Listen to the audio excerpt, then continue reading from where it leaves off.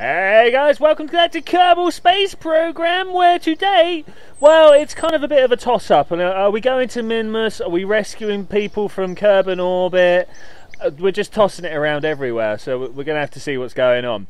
But first up, you'll remember we came back with a whole load of science, um, which means, well, before we even go anywhere, we're just like solar panels, yes. Right, just, oh, we need to buy these as well. Right, I never use these. Let's not do that. I want these ones. Yes. Uh, I don't. Uh, do you guys ever use these um, covered ones? I, I, I never. Uh, are they better for drag or what? What's the What's the point? I mean, aren't they like physics disenabled? Disenabled's a word, right? Surely, like disabled. I, the other thing I want, I want of slightly larger parts because ah, oh, and some radial engines. Okay, so these are the things that I needed, like seriously.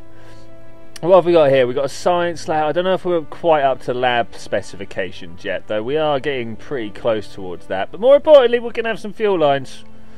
Boom, done. Whew asparagus staging here we come. Uh, we need to buy certain bits so we want that. We want the uh, attachment fuel lines as well. Perhaps a tiny little engine. How, how's my, my money going?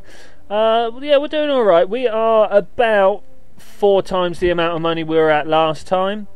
Uh, yeah about four times the amount of money we had last time. Um, oh uh, struts Struts were, were very much a must from last time, if you remember. Perhaps we should get a stability enhancer, some radial decouplers, and these little Triforce things. I like I never use them, um, but uh, it's nice to have them. Uh, somewhere there is. Oh wow! Look at all this. Do do do do do do do. Um, before we do that, should we do some docking ports? Like, they're important, right? And we can get a container and the multispectral imaging platform. My, doesn't that sound important? That's 160 science. Do we want to do that rather than any of these others? So, I mean, to be fair, a Kethane drill would be very useful right now, but we are still quite close to everything. So we don't. I don't think we need to go out and get any Kethane as of you know what I'm going to do it docking ports let's do it boom just, whoa, feel powerful on the snap decision yeah. Okay let's just go through and now I'm probably going to do a fairly um, little bit boring part where I go around and just click on all the things that I want because I'm playing hard mode inverted commas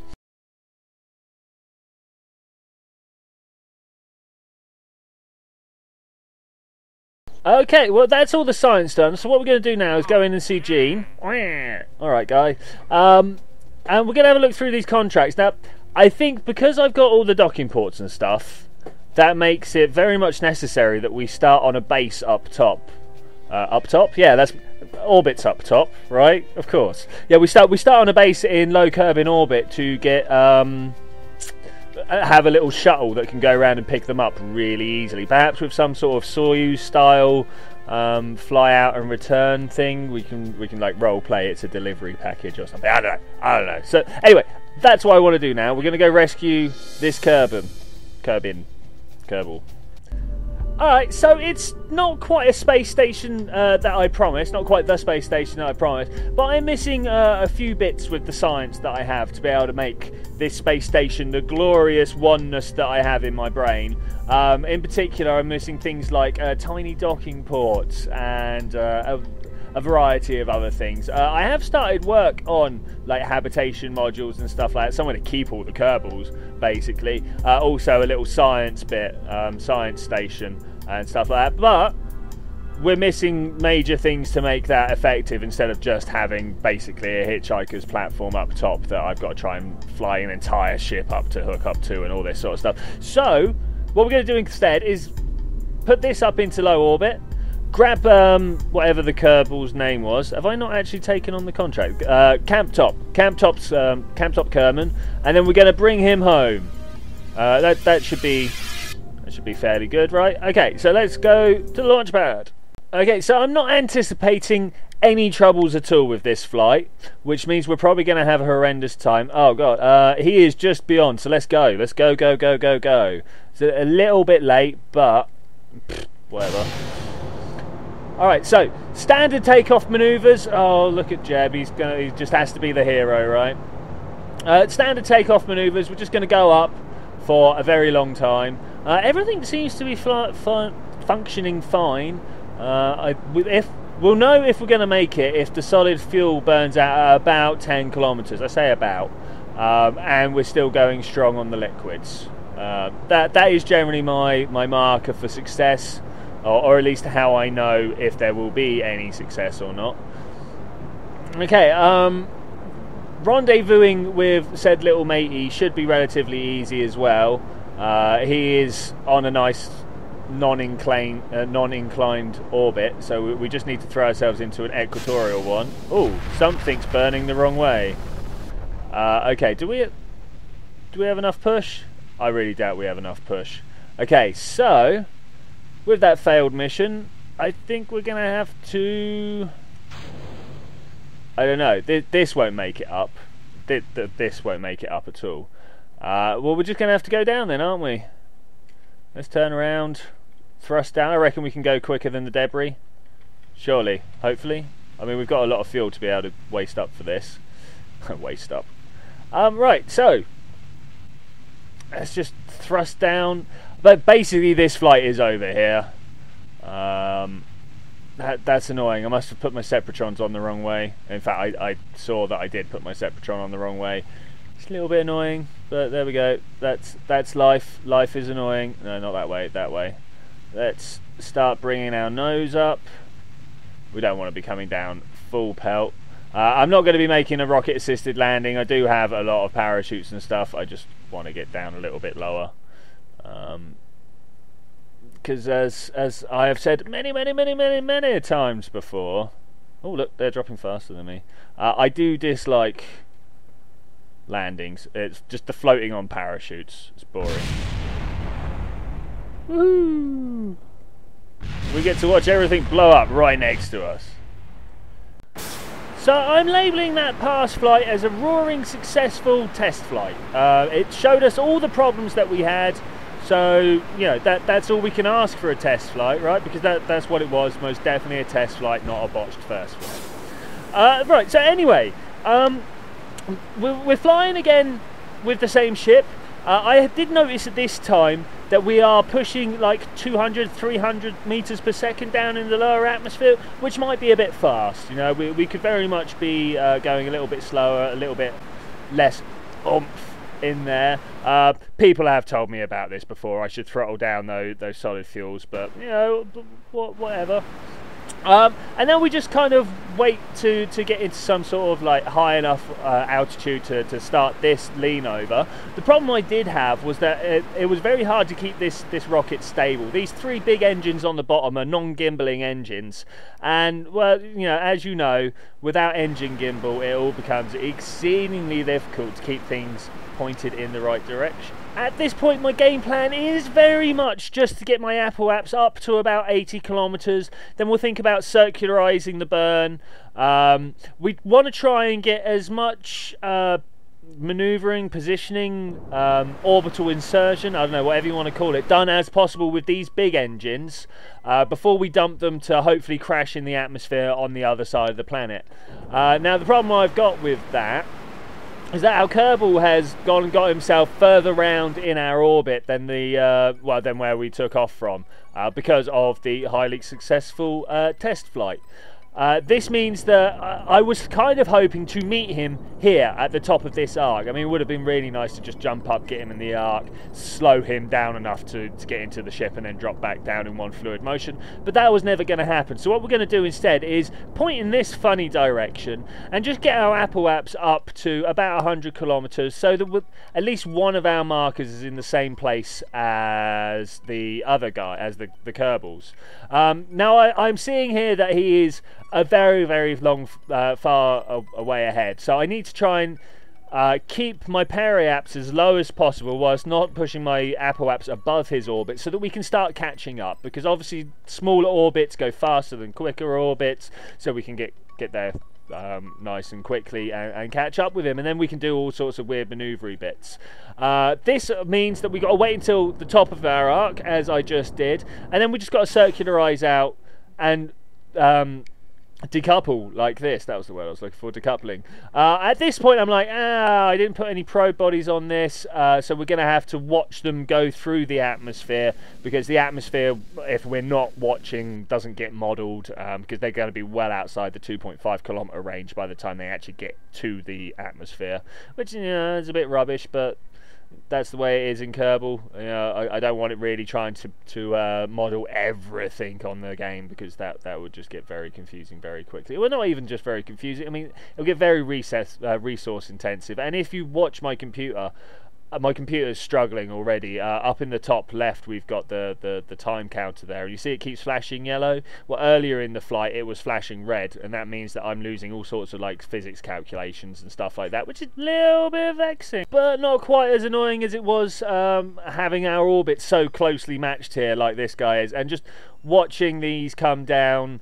Uh, well, this this gap get get closer and closer every time. Um, but with the coming up of the orbital maneuvers, I think we're going to get to the point where I'm going to let old me start taking over again because you know he was there doing the things. And as you can tell by the way my mouth mouse pointer is wildly shaking around, I've actually got things to talk about at this time. Uh, right, so what's going on here is I'm waiting for uh, this Kerbal's point to go just a little bit beyond mine when I just pass it. Because what I'll do then is I'll push this orbit back out um, and watch this go you what you'll you'll see it uh, when when when I when I push my orbit out. This will just kind of start tracking around, uh, and we'll just get it down so that the the, the, the meet point is just very very close, um, like that. Right. Let's stop stop stop. Right. So what's uh 16 kilometers? Let's see if we can. Is that is that a, a go up? That is a go up, isn't it? 14, 13. Look at that. 9, 8, 7, 6, 5, 4, 3. Oh, so three three kilometers. That'll do. Once we're at three kilometers, we can uh, match our target velocity there. Right, we, we should see a Kerbal around somewhere. He, no, he might be a, a, little bit out of range. Let's get rid of this. This is proper in the way. Do, why can't we close this? Wow. Okay, problems here. No, no, you're just going to leave them there? Alright, well, there we go. We've got that. We're, we're going to just look around and see what's going on. Everything seems alright and quiet. I don't see the Kerbal anywhere, and I note that I've done a major oversight of not including lights on this ship design. So, when we get back, remind me that I need to do that. Yeah, because you can do that, right? In real time, yeah? Honest? Alright, so we need to scooch around this orbit again until we get somewhere like this. Um, once we're there, uh, like this is boring as hell. I wish Squad would let us zoom uh, time warp just a little bit faster when when we're trying to chase stuff down. I mean, I understand why they've done. Well, I think I understand why they've done it with all like the you know when you're traveling so fast, you travel so many, so far in uh, in a single frame, and that can put you through the planet, which leads to all sorts of trouble. Um, but that's just just my my musing of why they only let us have it uh, so much. If, if you know better, let me know. Okay, here we go. We are coming up to our closest target target tool. Target tool approach? Yes, we're coming up to our class, closest target tool approach. So it's time to completely nullify any and all speeds. This one here. Oh, the problem with such tiny and light ships is they spin around like you would not believe. Uh, okay, and at the same time, we're just going to push the marker over that way a bit more because we want to head towards him before we completely nullify all our speed, hopefully. Um, and even if that's not the case, oh, let's stop there. Even if it's not the case, we can then start heading towards him rather than. There we go. Okay, that's that's close enough. But I'd like to turn around and get a bit more thrust on the go because I know we're covering five kilometers and uh, five meters a second. That's that's a thousand seconds, which is rubbish. So let's try and go a little bit faster. Why am I pointed away? What? No. Sort it out. We're, we're travelling away from him. We don't want to do that. We want to travel towards. Something's wrong there. Full, full power. Um, about that much full power. We don't. We don't want to be going too fast towards him. I really wish that we'd hurry up around this orbit. I, I, sorry, I'm just really not liking not being able to see my spaceship properly. Um, but you know that that's being in orbit around a planet at least half the time you're in darkness. But I suppose it's a little bit under uh, half the time, what with uh, your orbit being slightly bigger than the width of the planet. But Again, that's just me musing on stuff. Uh, 5 meters per second. We're about to fly past, and that's not good. So let's just two one zero. Uh, close enough to 0 to be 0. Okay, 100 meters. Can the Kerbal fly 100 meters and still be safe? I don't know. Just head towards him a little bit like that. Okay, let's swap over to this guy. Hey, dude, can we take control of you? Do you have a jetpack? Okay, let's I don't know if dropping down is a good idea or not. Uh, actually, trying to match my velocity up with this is going to be awkward. Very awkward. So let's swap over here instead. And there seems to be some small animal dying behind me. I'll, I'll sort that out at some second. Uh, so we're going to come around here and just wait to get as close as possible. And wait, and wait, and wait. Let's just do a bit of time acceleration. Like that. Brilliant. Is that close enough? I I'm not sure if that's close enough, but we're going to start nullifying some more speed. I reckon we can we can get within 10 meters and still be happy, right? I th I think so. It sounds a little bit dangerous, but we'll, we'll try it anyway. Something like that. That looks good. Oh, I wish I'd done this docking post commentary as well, because whoa, this is taking forever. But we're going to time accelerate a little bit closer. The problem is that I, I want to do this slowly, and doing this slowly means that, that I do it slowly. I, I, I, can't really sum it up better than that. Um, isn't English great? When, when you explain something how you want to do it, you can't really say any better than explaining how you want to do it, because you explained it so well in that, that format. Amazing. Alright, so we're bringing Cop Tube or something like that. I can't remember what his name is. But we're, we're bringing him in. Got to try and grab that fence right there. The fence? Ladder. I know what I'm talking about. It might not seem like it at this point in time, but I really do know what I'm talking about. Right, he's in. No, he's on the wrong the wrong one. Oh, okay. So we're going to bust out the jetpack again. Wow, that that was a bit of an oversight. I feel a little bit bad about it. But there we go. We're in. Okay, right. Whew. Next target. Let's try and find home. Where is home? Home is... Oh, of course it's in full darkness. How could it not be in full darkness? Okay, I'm going to cut here and just just go to, to a place where uh, the Kerbal Space Center is in daylight. Alright guys, so welcome back. Here, I, oh, I think, is this for the peninsula? Is it not? Is this no? Th th this is where we're trying to land. That that could have been embarrassing. Just just at this bit here. Um, so I think we can probably do this without too much in way of uh, maneuver nodes, because that that would be good, right? Let's just kind of ease ease ourselves down. We're going to try and skim skim the atmosphere. I say skim the atmosphere. We're going to try and plunge us into the atmosphere to crash somewhere about here, which should hopefully mean we crash somewhere about there. Um, so if we come over this way, yeah, look at this, perfect. We're, we're going to fly over the desert, or have we just flown it? So we've just flown over the desert. We're about to go over. Those are the mountains, and that is the actual Kerbal Space Center right over there. So this should this should work out well. This oh no, we can't can't time warp like that. Let's time warp like this. Oh gosh, straight into the red numbers. Um, but that's all right. We'll, we'll just do this. Du double the deceleration. Should be good. I think. Hopefully. Uh, we seem to be plummeting already. Uh, maybe check the map view again and see how we're doing. Uh, let's let's stop there. That that looks good to me. Uh, we might have to make some correctional manoeuvres, but that's all right. What we should be able to do now is just kind of point ourselves thuswards. Uh, look, we can see it floating in the water where the uh, the, the peninsula that it's on doesn't get land. uh, doesn't get.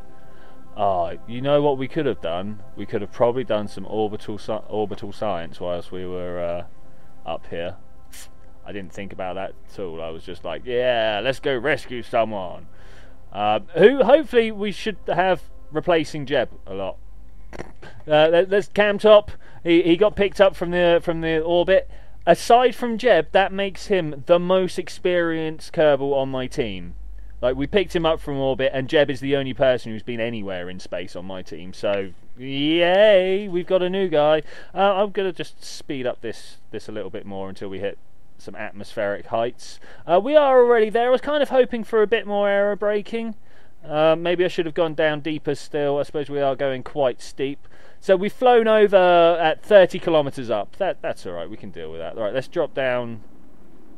Let's drop down time acceleration a little bit, and we want to try and be looking nose up. So get get as much drag as possible. Hopefully, I don't know if the Kerbal um, aerodynamics deals with this. Um, I know the I know the whole atmospheric modelling is really really rubbish. So I don't know whether it just goes right. This this entire craft will have a drag of this much, and then just do it like that as if it was a point source, or whether it actually takes into account which way things are, drip, uh, uh, are pointing. I don't know. Well, either way, I want to stop going forwards and start going downwards. So if we could could get that on the go, that would be great. We're going to go at four times acceleration. We're at four kilometers down, three kilometers, to start easing off on the time acceleration. And I think I'm going to pop our parachutes. Oh, I don't know, um, four, three hundred maybe, uh, somewhere about now. There we go, and now we just get a nice slow float down. I think four kilometers should be all right to um, to, to, to crash into. Earth. not four kilometers, four meters per second should be all right to hit the water with. Though just before we do, I am going to give a little bit of a burst on the engine just to just to bring us down even more. Uh, so we're at 70 kilometers. Can we see any sort of shadow? No, because the shadow is going to be all the way over there because the sun's all the way over there, right? Okay. So, there we go. Last 20 meters. Wish me luck, guys. I think now might be a good time for some throttle. And we're safe. Two Gerbans back home. Woo! Recover the vessel. And I'd like to say thank you very much for joining me for this uh, rescue mission. Uh, I will see you next time, where hopefully we're going to Minmus. I, I, I, think we'll have all the contracts for that. Oh, look, we got a whopping 1.7 science there. Awesome. Uh, we got funds back for stuff, and we got brought two crew home. Woo! Oh yeah. So I will see you then when we're going to Minmus. Bye.